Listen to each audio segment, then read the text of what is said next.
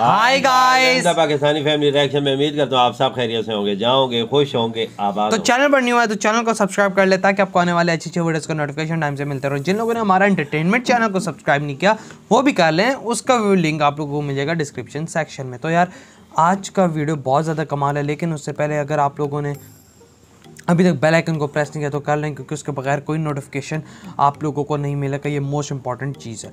तो यार पूरा कश्मीर इंडिया का होगा देखिए किस पाकिस्तानी नेता ने ये कहा। मतलब कि पाकिस्तानी पॉलिटिशियन ने ये बोला है कि कश्मीर इंडिया का हो जाएगा। ये देखने किस पॉलिटिशियन ने बोला है। बिल्कुल ये तो पता चलेगा क्योंकि तो बहुत ही बड़ा बयान है हाँ, मतलब एक पाकिस्तानी पॉलिटिशियन बावजूद उसने ये बयान दिया है। बिल्कुल बाबा जी और एक मतलब कि इंडियन पॉलिटी मतलब पाकिस्तानी पॉलिटिशियन ये बात कर रहा है कि भाई कश्मीर इंडिया का हो जाएगा? अब ये वीडियो देखेंगे तभी आइडिया लगेगा कि किसने ऐसी बात की तो कानून करते हैं three two one and start in association with Kutumb app. अनेक ग्रुपों ये से कोई मेरे पाइए ख्याल से छुटकारा। application का संगठन का अपना ऐप कुटुंब ऐप नमस्कार जैन भारत तक देख रहे हैं आप और मैं हूँ ऋषिराज। कश्मीर तो गियो।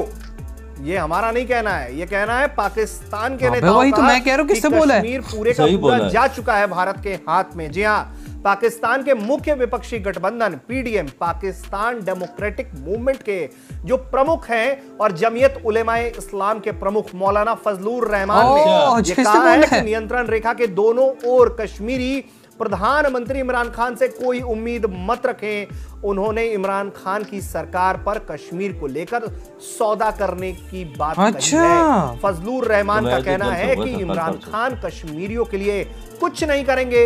अंतर्राष्ट्रीय समुदाय इस पर ध्यान दे। उन्होंने कश्मीर में भारतीय सेना की कार्रवाई के खिलाफ अंतर्राष्ट्रीय समुदाय से सख्त कदम उठाने की अपील की है।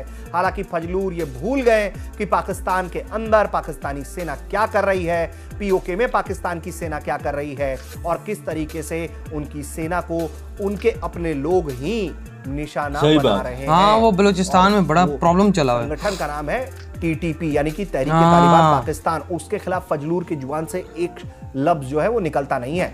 मीडिया से डरते हैं ना भाई सारे। पीडीएम प्रमुख फजलूर का कहना है कि पाकिस्तान ने खुद अपने हाथों से कश्मीर भारत को दिया है। उनका कहना है कि बहुत दुर्भाग्यपूर्ण है। कि हमने खुद कश्मीर को भारत को सौंप दिया। सही मैं कश्मीर के लोगों को सुझाव देता हूँ कि उन्हें पाकिस्तान सरकार से कोई उम्मीद नहीं रखनी चाहिए।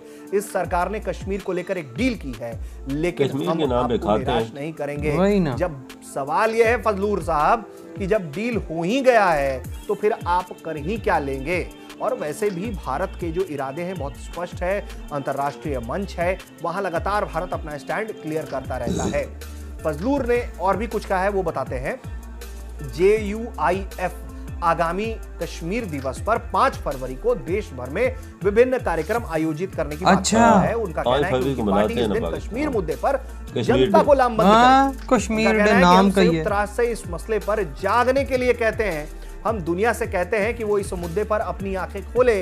कश्मीर के लोग भी उतने ही इंसान हैं जितना दुनिया के दूसरे हिस्सों के लोग तो चाइना के लोग क्या हैं? रहमान को मैं अपनी तरफ़ से ये बता देना चाहता हूँ कि चीन में शिंजियांग प्रांत में उइगर नाम का एक समुदाय रहता है जो इस्लाम से जुड़ा हुआ है उनके बारे में भी फजलूर साहब दो लफ्ज कहने का कष्ट करिए हाँ, क्योंकि देखा? तो आपके प्रधानमंत्री की ज़ुबान पर भी मार जाता है जब मुसलमानों की बात आती है और जिसकी चिंता आप कश्मीर को कर रहे हैं कश्मीर की कर रहे हैं उसकी चिंता करने की ज़रूरत नहीं है क्योंकि भारत के पास जो कश्मीर है वो तो है ही और जो पीओके है वहाँ के लोगों को भी भारत से ही उम्मीद है। सही बोला लोग कह रहे हैं। कश्मीर मामले तो पर संसद की समिति के सबसे लंबे समय तक अध्यक्ष रहे हैं। साल 2018 में जब पाकिस्तान तहरीक इंसाफ सत्ता में आई तब उन्होंने अपने पद से गुजर से मौलाना फजल भी कश्मीर के पाकिस्तान में राष्ट्रपति शासन लाने को लेकर आवाज़ें उठती रही हैं। इस बारे में जब मौलाना से पूछा गया तो वो कहते हैं कि हम ऐसे विचारों को बार बार सुनते रहते हैं। हमें इस राष्ट्रपति प्रणाली की आवश्यकता क्यों है?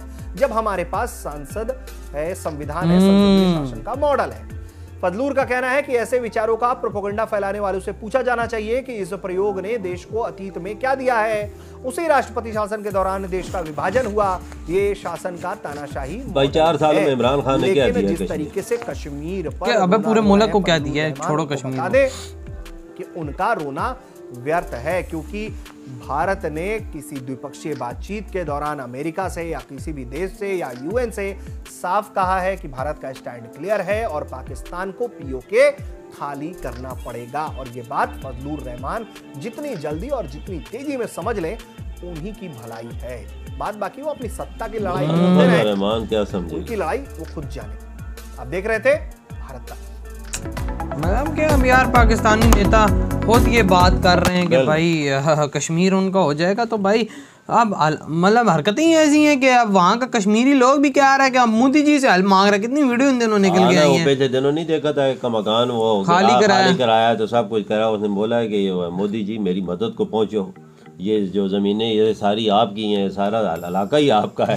तो आ, ये करके बैठे हुए हैं नाजायज तरीके से। तो भाई वीडियो तो निकल दी है लोग बोलता है। हमारे पास जो कश्मीर है उसके लोग मदद मांगेंगे मोदी जी से फिर हमारी क्या इज़्ज़त उनको तो मौका मिल जाएगा। भाई वो यूएन में अगर पाकिस्तान बोलता है वो बोलेगा पहले तुम लोग ये जो वीडियो देखो ना ये पता लग जाएगा वो उधर की आवाम क्या चाहती है। हाँ बिल्कुल। और वो फिर इंडिया को मौका भी मिल जाएगा अटैक करने का। सीधी सी बात है इंडिया को एक तो रीजन मिल जाएगी। इंडिया ने तो सीधे बोला कि हमारा ये जो इलाका है खाली करो। ये हाँ। हमारे वाले का वो तो बोला हुआ है ना हाँ। लेकिन इंडिया के पास एक सॉलिड रीजन आ जाएगी कि भाई ये इधर ये लोग ये हालात चल रहे हैं तो इस वजह से हमने लोगों के लिए ये काम किया। ये बात है अब पाकिस्तान मतलब कि अपने कंट्री को जिस तरह इमरान खान की गवर्नमेंट आई है इन तीन चार सालों में कश्मीर क्या पूरे पाकिस्तान भी कोई तवज्जो नहीं दी? गई खुद अपने जेब इन्होंने भरे हैं क्या। किया समझ ये कर्जे लिए कर्जे पता नहीं लगे किधर हैं। की थोड़ी सी आबादी इतनी बड़ी आबादी हाँ, लेकिन उनको वो सहूलतें भी नहीं गंदा पानी वहाँ पे आने को पीने को मिल रहा हाँ, होता है हर चीज़ गंदी मिल रही है ना खाने को मिल रहा है ना को उनको नौकरियाँ मिल रही हैं लोग सड़कों पे हैं बाद तो सड़कों पे निकल आते हैं वो वाली चीज़ें कश्मीरी को नहीं मिल रही जो दूसरे सूबों को मिल रही है। बिल्कुल और बलोचिस्तान में भी यही हाल है यही हाल है। और- तो वो अलग होने की तहरीक डिमांड- चलाते हैं। डिमांड करते हैं कि हमें अलग दो और जिस तरह फिर बांग्लादेश में भी यही चीज़ हुई थी आज बांग्लादेश अलग है ये ना कल को बलूचिस्तान भी अलग हो जाए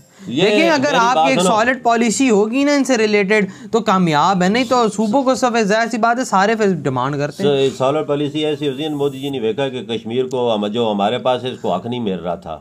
उन्होंने 370 हटा दिया। 370 हटने के बाद कश्मीरी को वो हकूक मिलने शुरू हो गए जो दूसरों सूबों को मिल हाँ तो ये चीज़ solid policy होती बिल्कुल बाब मैं वही तो चीज़ कह रहा हूँ ना सॉलिड पॉलिसी लो ताकि लोग नाम ही ना लें। बिल्कुल उधर इन्वेस्टर भी आ रहे हैं सब कुछ आ रहा है हर चीज़। भाई हमारा मुल्क तो एम भी पीछे को जा रहा है। और जो लोगों की बीच में आपस में चीज़ें हैं देखें ना बलूचिस्तान में आर्मी भी अटैक हो रहे हैं। बिल्कुल। अब आप सोच सकते हैं और जिस तरह से भाई और हिसाब किताब तो हमारी फौज पे अटैक हुआ तो पचास बंदा हमला करने को आया है। हाँ और वो पच... पचास किधर से आ एक मरा है सिर्फ़ और ओडिंजा है फोर्टी नाइन भाग गए अब आप अंदाज़ा लगाएँ मतलब कि उनके पास कैसी चीज़ थी? कि कैसे कैसे आए कैसे हैं? हाँ। आए हाँ। किधर से हैं? भाई पचास बंदा इनको नज़र नहीं आया इनको? चौकी पे थे। इनके- जो अगर चौकी पे कम अज कम पैंतीस चालीस बंदा होता है फौज का। कम अज कम। हाँ। उनके पास जदीद तरीन हथियार होते हैं। हाँ। हर चीज़ होती है। मुझे तो समझ नहीं आई किधर से आए थे किधर से भाग निकले वही ना बाबा बंदा अगर कोई और मुल्क होता तो ज़मीन की तह से भी निकाल के खड़ा कर देते कि ये। अमेरिका के साथ ऐसा कोई करता अमेरिका रातों रात ये जिन्होंने भी कराया होता ना उनको मैं कहता हूँ जड़ से उखाड़ देते।